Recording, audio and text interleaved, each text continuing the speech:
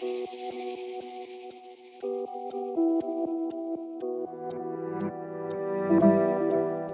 your Talon News Minute, I'm Jordan Soldaczewski. Rochester Boy Scouts will be rappelling down 21 stories down the side of the Kodak building to raise funds for their organization. The Scouts have been fundraising for the past eight years by belaying themselves down buildings. Among the rappellers will be Joe Aiello. He is looking to break the record he already holds as oldest rappeller at age 91.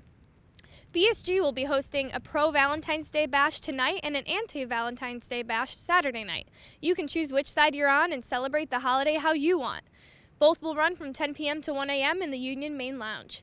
The BSR Media Conference is tomorrow. If you haven't bought your ticket yet, you can do so right up until the conference begins Saturday at 9 a.m. It will start out with networking with professionals over coffee, a keynote address from WIVB's Rachel Monjovi, and three different sessions with the opportunity to hear from seven different journalism professionals. It will end with the lunch and Q&A panel.